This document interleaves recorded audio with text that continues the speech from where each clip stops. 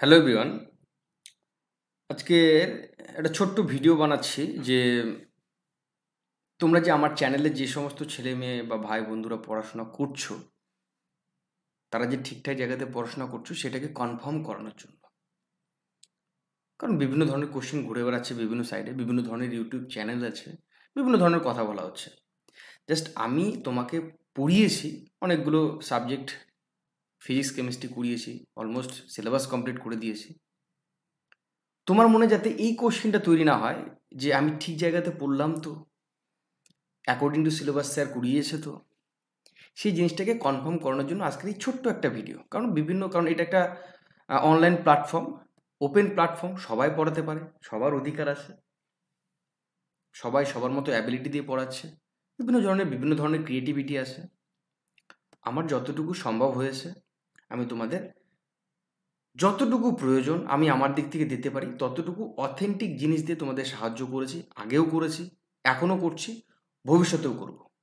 কারণ আমরা আমাদের টিচারের কাছ থেকে এই ধরনের যে নির্দেশ, আদেশ, ভালোবাসা এগুলো পেয়েছি। তো দেখো, এখানে মেনলি তুমি যে জিনিসগুলো পড়ছো আমার চ্যানেলে ইউনিট লার্নিং আমার অনলাইনে আসার যে উদ্দেশ্য সেটা কিন্তু আমার স্কুলের থ্রুতে না হলে আমি কোনোদিন ভাবিনি যে অনলাইনে আমি টিচিং করব।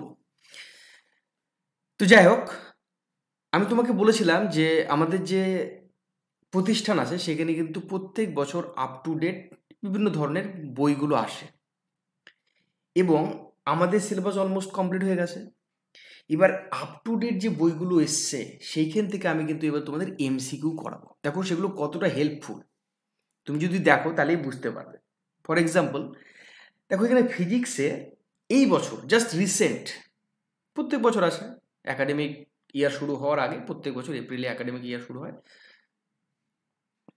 তার আগে কিন্তু আমাদের প্রত্যেক বছর নতুন নতুন অথরের বিভিন্ন ধরনের যে পাবলিকেশন আছে, সেখান থেকে বিভিন্ন ধরনের বইগুলো দিয়ে যায়। আচ্ছা এইখানে দেখো এটা ইলেভেন বই, এখানে টুয়েলভের বই। একাধিক বই আছে। একাধিক বই মানে কি? একটা টপিকের উপরে তুমি বিভিন্ন ধরনের কোশ্চেনের সঙ্গে পরিচিত পাবে। বিভিন্ন ধরনের কনসেপ্ট ক্লিয়ার করতে পারবে। একটা কোশ্চেনের বিভিন্ন বিশ্লেষণ পাবে। তাই কি না? এই সমস্ত বইগুলো থেকে কিন্তু এইবারে তুমি কিন্তু আমার কাছ থেকে এমসিকিউ পেতে চলেছো। তোমরা জানো লাস্ট ইয়ারে আমি তোমাদের এমসিকিউ করিয়েছিলাম। সেখান থেকে ম্যাথের বা ফিজিক্সের কিছু কিছু কোশ্চেন প্রায় প্রায় নাইনটি নাইন পার্সেন্ট কমন এসছে। ম্যাথের তো লগের অঙ্কটা পুরো হুবহু কমন এসছে। তো আমরা কনসেপ্ট ক্লিয়ার করেছি, তার মানে এই নয় যে আমরা প্রত্যেকটা কোশ্চেনের অ্যান্সার দিতে পারব। আমাদের কোশ্চেনগুলোকে প্র্যাকটিস করে করে করে করে করে করে বুঝতে হবে। তবে আমি তোমাকে এইটুকু কনফার্ম করছি, আমি তোমাদের কতগুলো ভিডিও দিতে পারব সেটা বলতে পারছি না বাট আমি তোমাদের সিলেবাস শেষ করে দিয়েছি। মেনে সিলেবাস দু একটা টপিক বাকি আছে, সেটাও কমপ্লিট করে দেবো। তারপরে আমি আমার সময় মতো যতটা পারব, আমি এমসিকিউ ফর্ম তোমাদের এই সমস্ত অথেন্টিক সোর্সগুলো থেকে কালেক্ট করে, কারণ টাইপ করতে অনেক সময় লাগে, ঠিক আছে? কারণ আমি অত স্পেশালিস্ট না টাইপিংয়ে হ্যাঁ। তো এই জিনিসগুলো ধীরে ধীরে ধীরে ধীরে তোমাদের কাছে আমি কিন্তু প্রোভাইড করার চেষ্টা করব। কারণ এই ইউটিউবে কিছু কিছু ছেলে মেয়ে আছে যারা সত্যি অসম্ভব ভালোবাসা দেখিয়েছে হ্যাঁ এবং প্রচণ্ড রেসপেক্টফুল হ্যাঁ দাদার মতো ভালোবাসে, স্যারের মতো ভালোবাসে, কেউ গাইডের মতো ভালোবাসে, অসম্ভব পাও না তোমরা আমাকে চেনো না, জানো না বা বিশ্বাস করে তোমরা এই চ্যানেলে পড়ছো মানে যে কজন পড়ছো, বড় পাও না আমাদের একটি স্যার বলেছিল, জাস্ট ছোট্ট দুই মিনিটের একটা কথা বলো, আমাদের স্যার বলেছিল,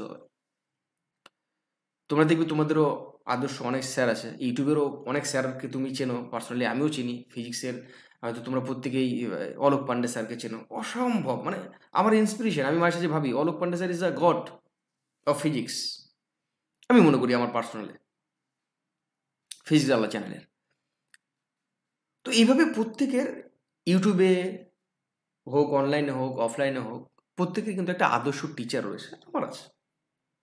তো বলেছে, তুমি যা করবে ভালো করবে।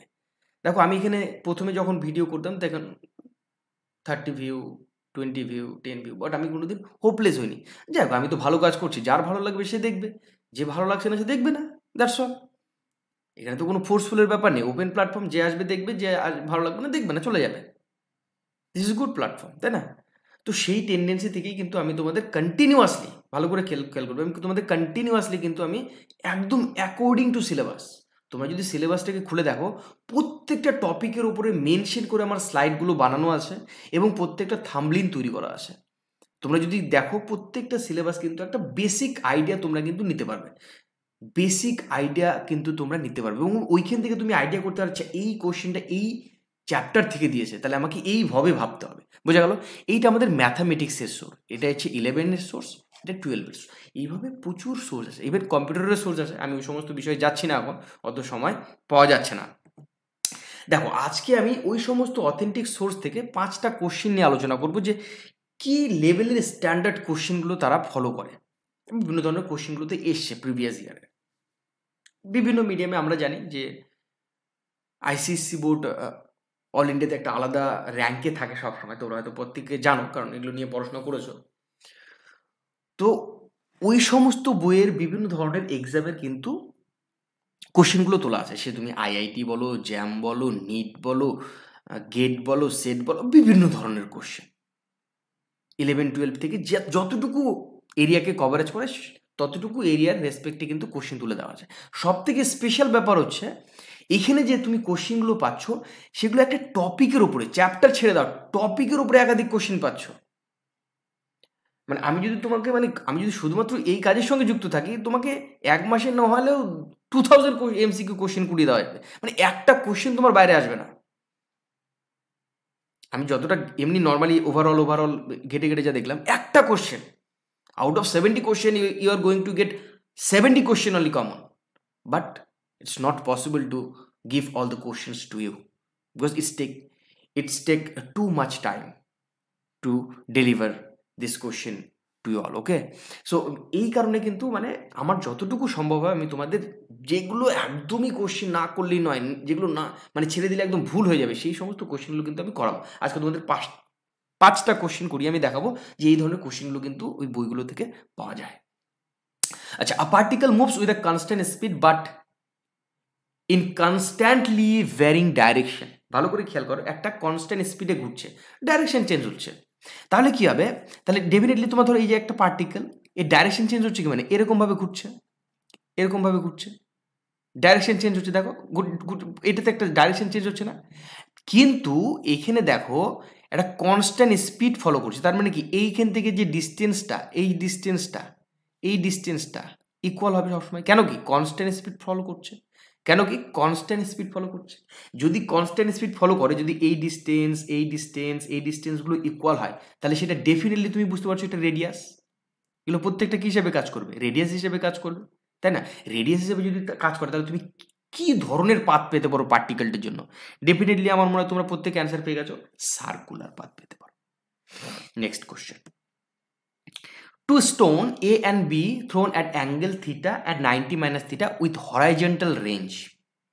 তাহলে সেক্ষেত্রে তোমার রেশিওটা কি হবে যদি দুটো স্টোন এ অ্যান্ড বিকে তুমি এই দুটো অ্যাঙ্গেলে থ্রো করো, তাহলে হরাইজন্টাল রেঞ্জটা কি হবে দেখো আমরা প্রত্যেকে জানি হরাইজন্টাল রেঞ্জের যে ফর্মুলা ছিল u square sine two theta by g and maximum horizontal রেঞ্জটা কি ছিল? আমরা জানি সাইন থিটার ভ্যালুটা হচ্ছে ম্যাক্সিমাম ওয়ান তাহলে ওখানে যদি বসিয়ে দিই ওয়ান তাহলে u square by g this is the maximum horizontal range of any particle তাহলে আমি যদি স্টোন এর জন্য রেঞ্জটা বের করতে চাই, তাহলে যেটা আছে সেটাই থাকবে। কারণ এখানে থিটাটা কোনো পরিবর্তন ঘটেনি। তাহলে আমরা এটা লিখতে পারব sine two theta by g কিন্তু যদি তুমি আর বি রেঞ্জ বি স্টোনটা বের করতে চাও, তাহলে কী হবে? ইউ স্কোয়ার সাইন টু থিটার জায়গায় কি লিখব? Ninety minus theta divided by g তাহলে এটাকে তুমি যদি ক্যালকুলেশন করো, ভালো করে খেয়াল করো তো কী হবে? U square sine one eighty minus theta divided by g তাহলে এখান থেকে দেখো তো ওয়ান এইটটি মানে কি? দুটো নব্বই ডিগ্রি থেকে কম। তাহলে সাইন সেকেন্ড কক্ষপথে আছে।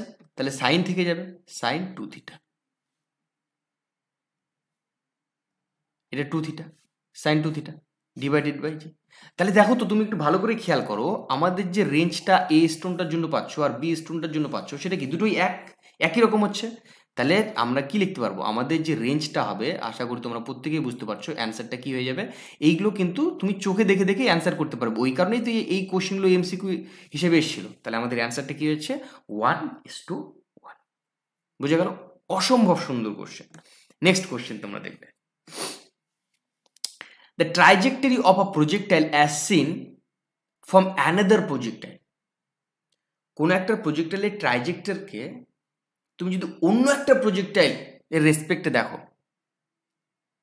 তুমি একটা প্রজেক্টাইলের ট্রাইজেক্ট ট্রাইজেক্টরকে অন্য একটা প্রজেক্টাইল মানে দুটো প্রজেক্টাইল করছে, দুটো পার্টিকেলকে ইয়ে করা হচ্ছে প্রজেক্টাইল করা হচ্ছে মানে ছোড়া হচ্ছে। তাহলে সেক্ষেত্রে কি হবে? সেক্ষেত্রে যে পাথটা হবে সেটা কি ধরনের পাথ তুমি দেখতে পারবে? সেটা ডেফিনেটলি একটা স্ট্রেট পাথ হবে। এবার কথা কোশ্চেন আসবে স্যার ট্রাইজেক্টরি মানে তো বুঝলাম না। আচ্ছা ট্রাইজেক্টরি মানে দেখো প্রজেক্টাইল মানে তুমি জানো যে কোনো একটা পার্টিকেলকে যদি তুমি একটা ভেলোসিটি দিয়ে থ্রো করো, সেটা দেখবে আবার ইনিশিয়াল ধরো একটা পার্টিকেলকে তুমি থ্রো করছ। থ্রো করলে আবার যদি তার ইনিশিয়াল পজিশনে আসে, সেটা একটা প্যারাবলিক ফর্ম করে। এটা আমরা জানি, প্রত্যেকে পড়েছি।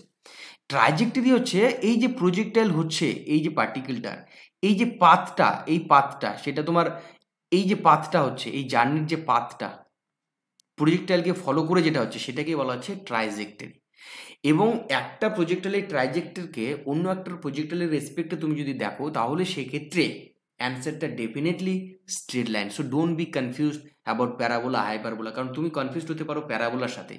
ঠিক আছে? ফোন নাম্বার এটা খুবই সহজ কোশ্চেন এর আগেও রিপিটেড করেছে repeated question the range of projectile is maximum when it is projected horizontally at which angle definitely আমরা প্রত্যেকে জানি এটা ফর্টি ফাইভ ডিগ্রি অ্যাঙ্গেলে ম্যাক্সিমাম হরাইজেন্টাল রেঞ্জ শো করে। Next question path of a bomb released from a airplane moving with uniform velocity at a certain height is observed by the pilot. একটা এয়ারপ্লেনে pilot uniform ভেলোসিটিতে চলছে এবং সেই airplane থেকে একটা বোমকে release করা হলো, ছেড়ে দেওয়া হলো। তাহলে ওই যে পাইলট, ওই পাইলটটা কি ধরনের পাথকে শো করবে বা দেখতে পারবে আমাদের এয়ারপ্লেন থেকে? একটা অনলাইনের কোশ্চেন দেখো, এগুলো ফিজিক্স আলাদা রকমভাবে জানতে গেলে এগুলো বিভিন্ন ধরনের অ্যানিমেশনের মাধ্যমে জানলে আরও অনেক বেশি ব্যাপারটা ক্লিয়ার হয়। দেখো, ওই লেভেলের টেকনোলজি ইউজ করা আমার পক্ষে এখন সম্ভব নয়। কিছু কিছু কোশ্চেন অনলাইনের হিসেবে যেগুলো ইম্পর্টেন্ট সেগুলোকে মনে রাখবে যেগুলো এক্সপ্লেন করা যাবে উইথ ডেফিনেশন ডেফিনেটলি আমি সেগুলো করার চেষ্টা করব। তো সেক্ষেত্রে যে পাতটা আমাদের পাইলট দেখতে পারবে, সেটা হচ্ছে স্ট্রেট পাথ বোঝা গেল? তো এই এই ধরনের স্ট্যান্ডার্ড লেভেলের কোশ্চেনগুলো কিন্তু আমরা সেখান থেকে সলভ করার চেষ্টা করব। ওকে আশা করি বুঝতে পেরেছ, আজকের এই ভিডিওটা করার উদ্দেশ্যই ছিল যে, তুমি যে জায়গাতে পড়ছো ডেফিনেটলি নো ডাউট একটা অথেন্টিক জায়গাতে আছো অথেন্টিক সোর্স থেকে তোমাকে ম্যাটেরিয়ালস বা স্টাডি সম্বন্ধে যে সমস্ত জিনিস বলে দেওয়া হচ্ছে ডেফিনেটলি সিলেবাস রিলেটেড কোনো কিছু সিলেবাসের বাইরে নয়। আশা করব তোমরা উপকৃত হবে এবং উপকৃত হয়েছো। অনেক ভাই, বন্ধু, দাদা যারা আছে প্রত্যেকেই অনেক ভালো ভালো মোটিভেশনাল কথা বলে এবং বোঝা যায় যে হ্যাঁ তারা সত্যিই ডেডিকেটেডলি চ্যানেলের যে ভিডিওগুলো আছে সেগুলো দেখে, সত্যিই খুব ভালো লাগে। হয়তো তাদের জন্যই বারবার করে এই ইউটিউবে বিভিন্ন ধরনের নতুন নতুন কিছু যে আরও কীভাবে আরও আরও আরও ভালো কিছু দেওয়া যায়, সেই চিন্তাভাবনাগুলো মাথাতে ঘুরতে থাকে এবং সেক্ষেত্রে থেকে ছোটো ছোটো ছোটো ছোটো ছোটো ছোটো স্টেপগুলো ফেলা। ওকে?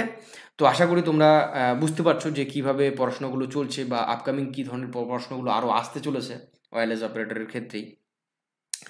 তো পরবর্তী ভিডিও এবং পরবর্তী টপিকগুলো আসা পর্যন্ত তোমরা সবাই দেখতে থাকো এবং শিখতে থাকো। Thank you take care